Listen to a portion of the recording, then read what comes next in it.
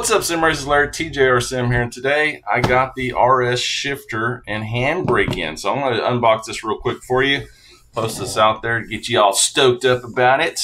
This is for the Logitech Pro, and as you can see here, you have uh, you could actually buy two of these. You can buy 20 of these if you wanted to. I don't care, but you can buy two of these and use one for your handbrake and one for your sequential. Like I mentioned in my uh, overview of these Logitech Pro Series items coming out here, uh, you could also stack them on top of each other as well if you wanted to. But this will plug directly into your base, so this is great really for the console group here.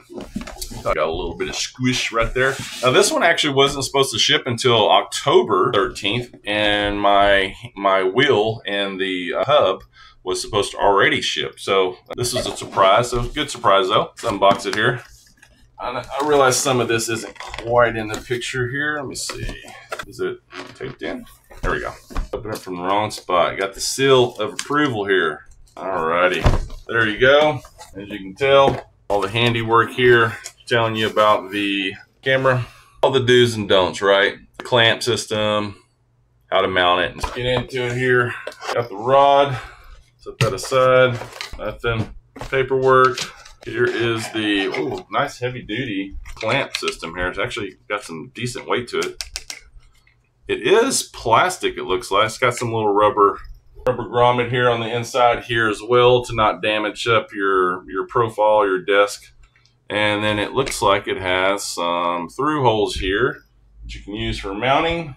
And same for, oops, same for the top as well. So you can mount the other other uh, handbrake on top if you wish. That's that. Actual handbrake here should be in here. So I can get this puppy out. got a decent weight to it. Come on now. What is this little box in here? Goodness gracious. That's just a nothing. They put these little side boxes in here. You don't know what the heck they are, if they actually got stuff in it or not. But it has nothing in it. All right.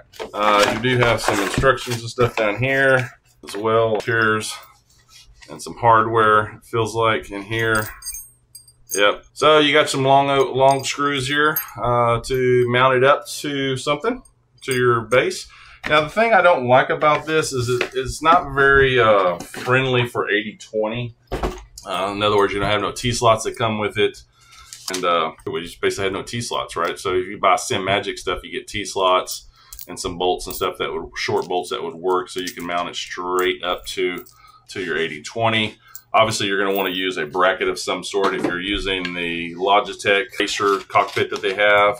Uh, this will, of course, mount right up to that. So you have your screws here, of course, to go from the bottom in, right? So you would obviously have to use a bracket here to mount it, mount it up. But so they do have some nice, decent long screws here. I'd imagine you can't damage anything if you screw it all the way in. Same here on the back.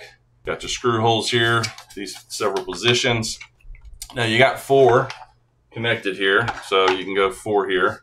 So you're going to utilize all four of them. Either mint the top two, as you can see here, or have it a little bit higher up and use the top two and mint the bottom one. But they do have a nice little cutout here, so it does clear your cord. So a little bit of forethought there. That's nice. B, it's no USB plug-in here. I don't really like that because this can tend to get damaged over time just because it does in use, but it is what it is. I would rather see a USB, just a cable itself with a USB plug-in. And then this, of course, will plug into the back of your base, as you know. Alrighty, so let's see what we got going on here. You got your uh, hookups here. So you got your, the blue one is for your sequential and the front one is for your actual handbrake. Let's plug this in, or hook it up rather. This is, course, cloth cover here. Kind of thin, cheap cloth. Coming apart here. Come on now. Killing me here. There we go. Making a mess. So you've got two, you got a nice little tapered tapered in here. That's gonna go to, let's screw it into the handbrake first. I just wanna see how this feels and I'm sure y'all are curious as well. Nice positive you run out of travel on this thing, which is good. Now, if you were to turn it here sideways just for the camera to make it easier to see, you can loosen this bottom one up. Let me get it going here. Oh, I unscrewed it. Let me see. Well, that's quite tight, isn't it? All right, let me, let me pre-loosen here. What the heck? You're supposed to be able to raise this thing up and down. It's quite sturdy. Supposed to be able to loosen this and raise it up and down. Let me see if I can get a grip on this thing here. fuck. It's tight. Tight. There we go. Good lordy. All right, you're going to want to pre-loosen this first just to loosen that baby up, but you can actually take it all the way off if you wanted to. Here's the handle. Slide it back in, screw it on. Oh, real quickly here, you notice you can't really adapt any kind of other custom handle to this. It is what it is. Uh, so if you don't like this, well, tough noogie, you can't can't do anything about it. So that's pro level for you. All right, so you got a little bit of gap here, so you really got to tighten it down here or loosen it up. And you can slide this up and down the shaft here. That's what she said. And shorter length, of course, uh, less of a moment arm, right? So it's going to be harder to uh, shift. And then, of course, you can lengthen it, which will, of course, make it easier to shift and handbrake as well. Less force applied for you, but this may be what you need as far as height-wise when it's setting on your rig. So nice little telescoping here going on. So I like to keep it short. I will screw it back in here. Make sure I don't booger nothing up. It's pretty easy to not do that. All right, we're on here tight. Now for the action. See how it feels. All right, not too bad. So it's got some rubber stops in there. So you're not really making a lot of noise when you release it. Release it slowly. Make sure I have it in the mode. I wonder if I put it all the way here to sequential to it. Yeah, it doesn't matter.